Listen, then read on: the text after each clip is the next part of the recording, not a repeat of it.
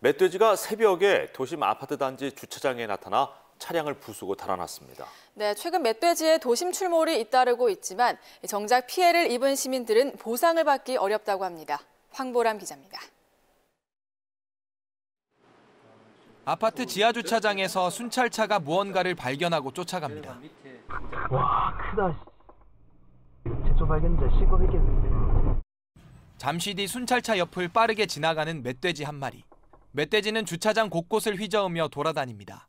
경찰과 소방관이 함께 포획에 나서지만 재빠른 멧돼지를 잡기엔 역부족입니다. 포획을 피해 달아나던 멧돼지는 자동문을 들이받기도 하고 주차장 아래층으로 떨어져 주차된 차량 한 대를 부수기도 했습니다.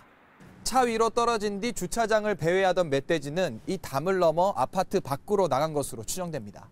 믿기지도 않고 엄청 놀랐고요. 아직도 잡히지 않았다는 소식을 듣고 지금도 아직 걱정이 되고 있습니다.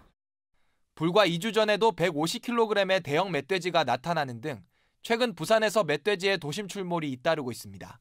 하지만 멧돼지로 인해 대물 피해를 입더라도 개인 보험 외엔 사실상 피해 보상을 받을 길이 없습니다. 일부 지자체가 지원하는 보상도 농작물 피해에만 국한됩니다.